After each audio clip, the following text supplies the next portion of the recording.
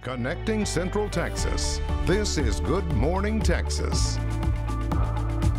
I'm Joe Gum. Here are your top stories for today. A suspect in Vanessa Guillen's disappearance is expected to appear in federal court later this morning.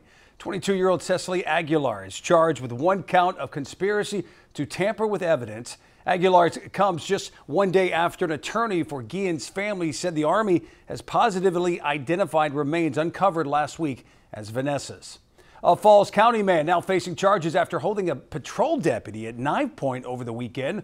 Authorities say Damon Vanderbilt from Marlin snuck up on the deputy, held a knife to his throat, and demanded the keys to his patrol car. Vanderbilt was arrested and is being charged with aggravated assault on a public servant. Now it's time for a check of your first alert forecast with Jordan. Hey, Jordan.